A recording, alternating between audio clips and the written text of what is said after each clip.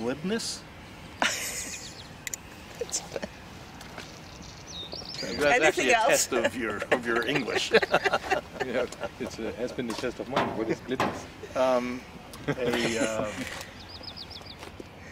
uh, a facility with words, but Hmm. not much behind. it. Okay, okay. Many politicians are glib. Yeah, okay. This is why we are here at Petersberg. You really made the Yeah, point.